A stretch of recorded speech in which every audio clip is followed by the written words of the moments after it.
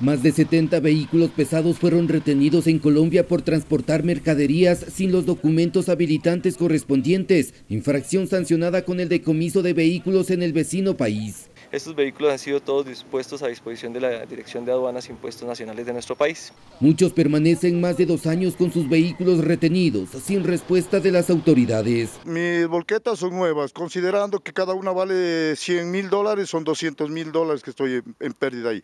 40 vehículos han sido devueltos a sus propietarios de acuerdo a los convenios binacionales, pero aún hay más trámites pendientes. Pues sí, todavía tenemos un, un total de unos 40 vehículos por recuperar de allá de la eh, el país de Colombia. Pero lo lamentable es que los conductores ecuatorianos siguen cayendo en la misma infracción, con un balance elevado en los últimos meses. Ecuatorianos son 36 vehículos que han sido aprehendidos. Eh, hay unas normas muy claras para el ingreso al país con mercancía y es tener por lo menos la habilitación.